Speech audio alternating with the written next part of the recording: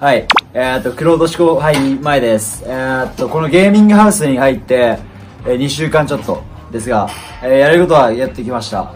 まあ、その結果を出せるように頑張ります。応援よろしくお願いします。えー、っと、黒都市後輩、まあ直前なんですけども、まあ今回の大会勝てるか分かんないですけど、まあ全力出したいと思います。応援よろしくお願いします。はい、えっと、黒都市後輩、頑張っていきたいと思います。もう自分が一番落ち着かなきゃいけない立場なので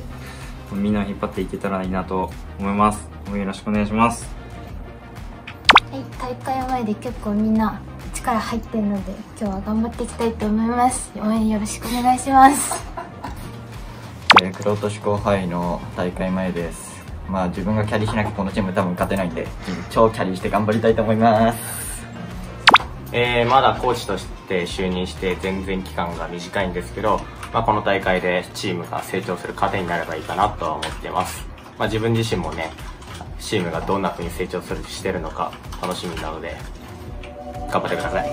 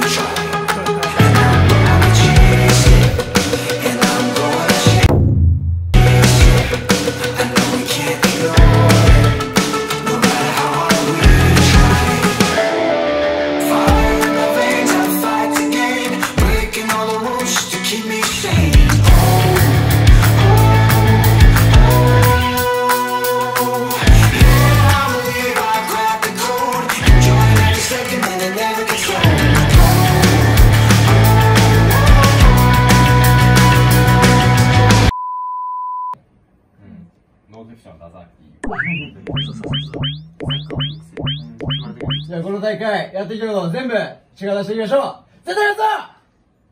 あ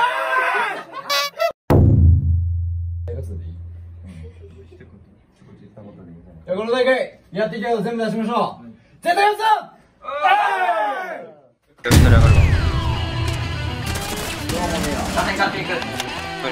嘘のやめるよ。あ、びっくりしてきた。おお、マジまた上がろうか。みんなからまた上がるよ。みんなからかな。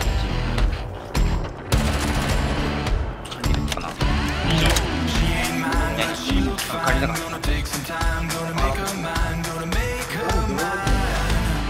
あ、どんなことだよ。打線バレが上がったの。僕行くった。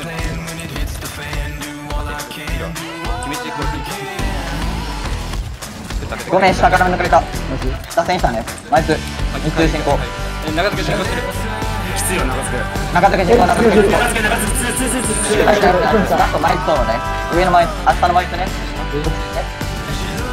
少しカフェカフェカフェカフェ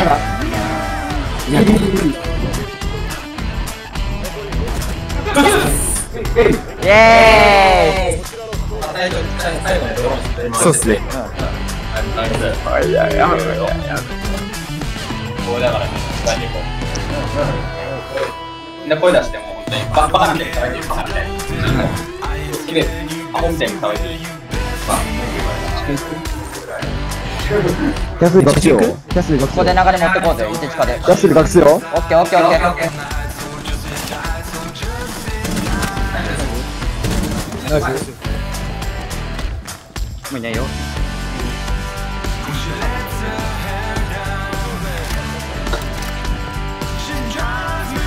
ジャンなし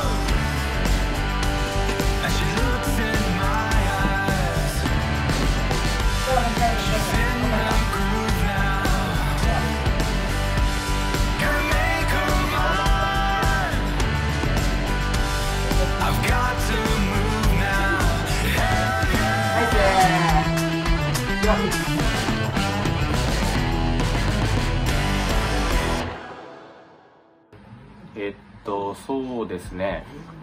まあ相手がノーセプションさんで、まあ、格上の相手に、まあ、なかなか食らいつけた絵はいたのかなとは思います。かなりチームメイトにとっていい経験になったのでこれを糧にまた一歩前進してもらいたいと思います、まあ、僕自身もねだいぶ勉強になったのでこれからみんなで頑張っていきたいと思います。えっと黒土後輩相手ノーセプションだったんですけど、まあ、4内負けてしまいました。で自分の良かった点としてはよくチームに重い空気にすんなとかいろいろ言われるんですけど今日はそれ気にして、まあ、声出していけたのかなと自分では思ってます。コミュニケーション面はやっぱり大事なのでそこはしっかり俺はできてました。で俺が悪かったところはやっぱりそのチームに必要な乗るキルこうウェイってなるようなキルがあるんですけどあそこを取りきれなかった自分の不甲斐なさ。今ちょっと少々腹が立った。あでまあ次次は、